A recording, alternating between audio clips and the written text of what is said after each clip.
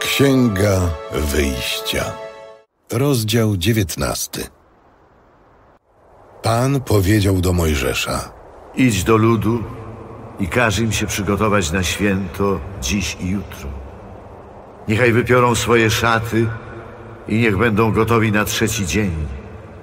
Bo dnia trzeciego zstąpi Pan na oczach całego ludu na górę Synaj.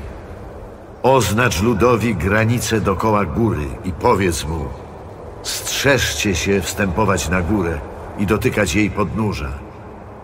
Gdyż kto by się dotknął góry, będzie ukarany śmiercią. Nikt nie dotknie go ręką, lecz winien być ukamieniowany lub przebity strzałą.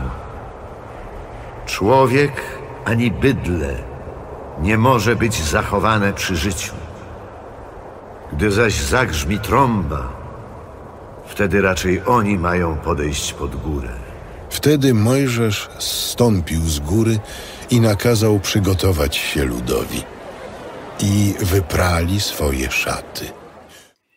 Witam serdecznie na kanale Zakochany w Biblii, gdzie wspólnie czytamy Biblię ze zrozumieniem. Wreszcie dotarliśmy do uroczystej chwili objawienia się Boga w swoim majestacie. Lud musi się do tego przygotować, dlatego Bóg posyła Mojżesza do ludu, aby ten uświęcaniem przygotowywał się. Jest to spójne z poprzednim wersetem, gdzie Bóg zapowiedział, że wierzący staną się kapłańskim królestwem oraz ludem świętym. To znaczy królestwem Bożych sług i ludem oddzielonym. Nie chodzi o doskonałość moralną. Chodzi o to, aby nie utracić swojej tożsamości, aby przed obliczem objawiającego się Boga nie rozpływać się. Bóg sam jest całkowicie święty, całkowicie oddzielony. Świętość, do której Izraelici są powołani, to pełnia jestestwa, która uzdolni ich do dawania świadectwa innym narodom. Spotkanie człowieka z Bogiem można porównać do zderzenia się kropelki wody z oceanem. Są to rzeczywistości niewspółmierne. Jeśli człowiek ma przetrwać nawałnicę Bożej obecności, musi umieć zachować własną tożsamość, własną odrębność, własną świętość. Dlatego spotkanie Boga z człowiekiem musi być uregulowane duchowo i materialnie dzięki liturgii. Góra Choreb staje się świątynią, to znaczy miejscem poświęconym, wydzielonym na obraz Boga, który sam jest święty i oddzielony.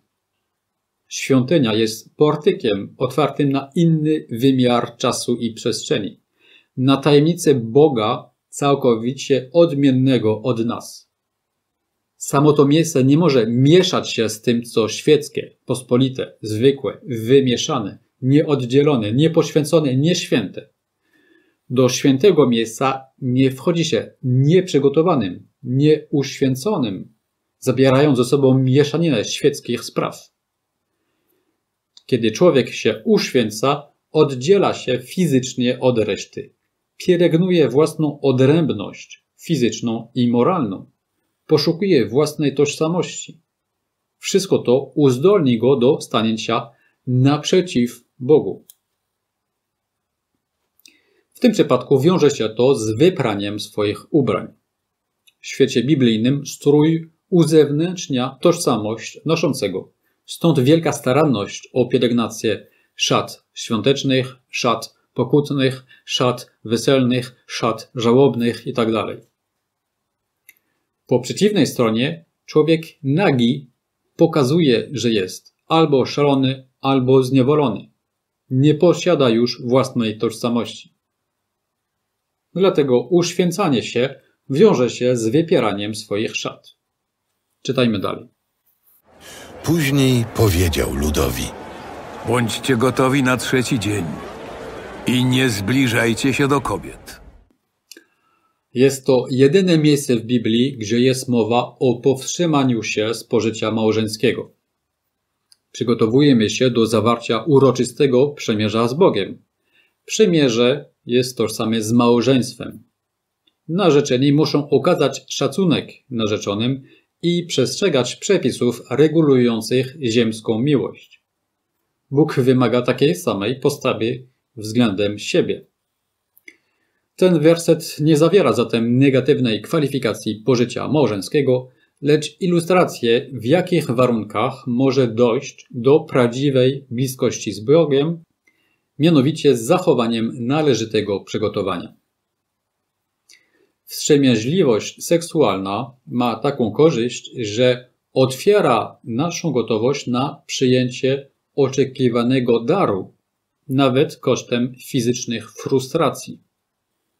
Te frustracje, dobrowolnie przejęte, są znakiem tego, że człowiek jest otwarty na świętość, na to, co przewyższa inne radości. Żeby człowiek w ogóle czuł potrzebę tej radości, musi czasowo zrezygnować z radości cielesnych. Takie przygotowanie uzdolni nas do oglądania Boga. W następnym odcinku będziemy świadkami pierwszego publicznego objawienia Bożego. Do usłyszenia. Pan powiedział do Mojżesza: Idź do ludu i każ im się przygotować na święto dziś i jutro. Niechaj wypiorą swoje szaty i niech będą gotowi na trzeci dzień. Bo dnia trzeciego zstąpi Pan na oczach całego ludu na górę Synaj. Oznacz ludowi granice dokoła góry i powiedz mu, strzeżcie się wstępować na górę i dotykać jej podnóża. Gdyż kto by się dotknął góry, będzie ukarany śmiercią. Nikt nie dotknie go ręką, lecz winien być ukamieniowany lub przebity strzałą. Człowiek ani bydle nie może być zachowane przy życiu. Gdy zaś zagrzmi trąba, wtedy raczej oni mają podejść pod górę. Wtedy Mojżesz zstąpił z góry i nakazał przygotować się ludowi. I wyprali swoje szaty.